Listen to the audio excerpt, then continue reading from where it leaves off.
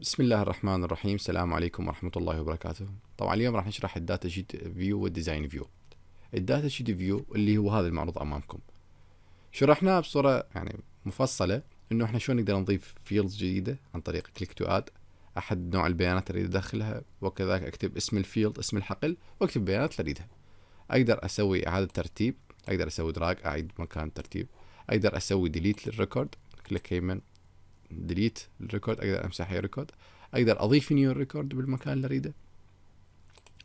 إلى آخره. طبعا هاي الطريقة مال التصميم هي مو الطريقة الأسهل. أكو طريقة أنا أشوفها أسهل وطريقة كلش يعني رائعة لتعديل ال fields الحقول بصورة عامة وإنشاء حقول جديدة اللي هي يسمونها Design view Design view شلون أقدر أوصل له؟ أوصل له عن طريق ال Home ribbon ال view طبعا إذا أنت ساد ال table مالتك ما تقدر تفعله. فمجرد انت ما تدوس double click على ال Guest أو على اي table تقدر تروح على ال view تحول على Design view Design view مثل ما تشوفون أنتم مكتوب ال ID ال first name last name ال email هو اللي نفس الجدول مالتي. وكل واحد نوع البيانات مالته. مثل ما تلاحظون هنا يعني التحويل مال البيانات سهل الإضافة سهل. أكيد يعني يعني لأن صاير على شكل جدول بسيط. يتكون من field name وال data type مالته. و description description هو الشرح يعني آه ملاحظات إيش عندك ملاحظات عليه. وهو optional هاي الملاحظات optional مو شرط تكتبها براحتك. مثلا الإيميل مثلا على سبيل المثال إنه أنا الإيميل مالتي أريده يعني يكون اللي يطبع ال Design view بعد. يعرف إنه هذا الإيميل لازم يكون مثلا فد إيميل معين مال شركة معينة. مثلا الشد ب Gmail مثلا أقول له إنه هذا لازم يكون Gmail يعني هذا حتى واحد بيدخل مرة ثانية يعرف إنه هذا اللي اشغال ال field. زين. أقدر أسوي طبعا ترتيب منه أيضا. أقدر أسحب من مجرد ما أختار أي أي row أو أي record وأسحبه يتغير مكانه بكل بساطة. هاي الطريقة. طريقة اذا اريد اضيف شيء معين هنا field جديد. اكتب مثلا postal code طبعا postal code رقم أو short text ما يهمني. كتبته هنا ضفته. أقدر أغير مكانه كذلك ما عنده مشكلة. أسده أسد ال Guest منه طبعا أسده يا إما من هنا أو right click هنا وسوي close كيف؟ أسده.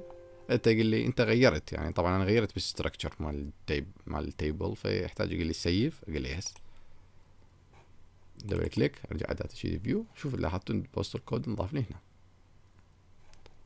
زين آه مثلا الإيميل هنا اريده يعني البريد الإلكتروني اريده clickable يعني شنو clickable يعني من أضغط عليه وديني يعني على برنامج يفتح الإيميلات وأقدر أرسل به مباشرة. يعني يصير مثل الرابط الأزرق اللي هو عادة موجود بكل البرامج أي رابط يصير عليه أزرق ويتحول الماوس إلى إشارة الإيد إنه أنا أقدر أفتحه. طبعا طريقة سهلة. هم أرجع على Design view أروح على الإيميل هو مسوي short text أسوي شنو؟ أسوي hyperlink اللي هو شنو؟ رابط إنترنت رابط موقع إلكتروني أو إيميل إلكتروني. كذلك أسده أ save ه أفتح ال Guest.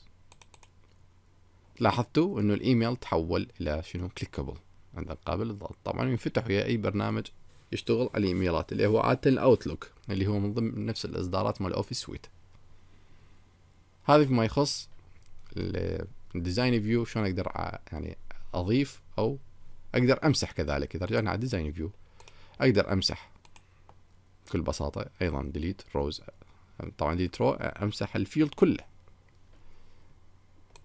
إن شاء الله بالمحاضرة الجاية راح نشرح ال field properties قبل لا ننهي كم طريقة أقدر أحول بين datasheet view و design view الطريقة الأولى هو قلنا عن طريق شنو؟ عن طريق ال home ribbon أقدر أحول. كذلك هذا الطريق إذا رحنا على ال table على ال table اللي هو ribbon الجديد طلع لنا هم أيضا يبقى لنا الإيعاز مال ال view. أو أقدر على الجيست أسوي له open إذا فتح له open راح يطلع لي datasheet view وأقدر أرجع على ال design view كذلك. right click والطريقة الموجودة اللي هي أعتقد الأخيرة ونروح على أقصى أسفل يمين الشاشة. اكو موجود datasheet view و design view. أقدر احول بيناتهم. هذا datasheet view وهذا design view.